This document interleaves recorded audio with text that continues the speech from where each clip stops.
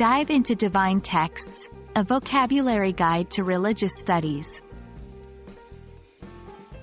Hello everyone. Welcome back to our Advanced Vocabulary series.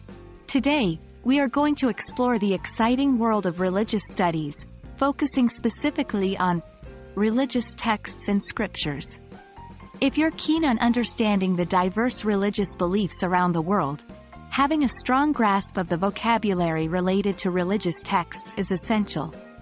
So, let's dive in. To begin with, we must understand that religious texts, or scriptures, are writings considered sacred and spiritually significant by various religious traditions. These texts contain teachings, stories, and laws that guide the believers. When discussing religious texts, we often use the term canon.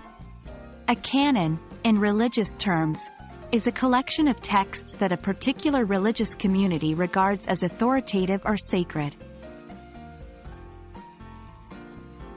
In this section, we'll explore some specific terms associated with the religious texts of different religions. In Christianity, the key text is the Bible, which is divided into two sections, the Old Testament and the New Testament.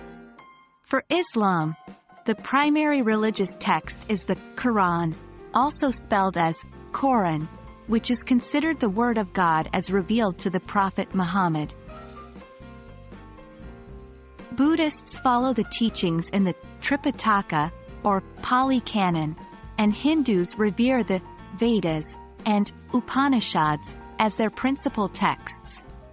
The Jewish faith holds the Torah as its central text, along with the Talmud, a collection of rabbinic discussions.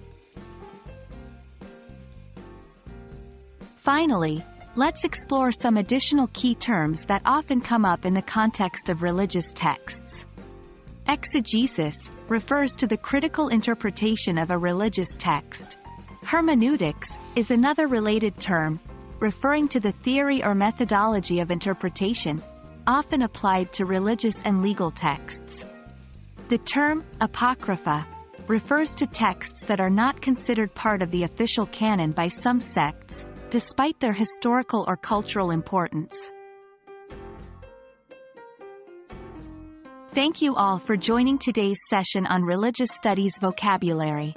With a good understanding of these words, you will be better equipped to explore the fascinating world of religious studies and participate in more nuanced discussions about different belief systems.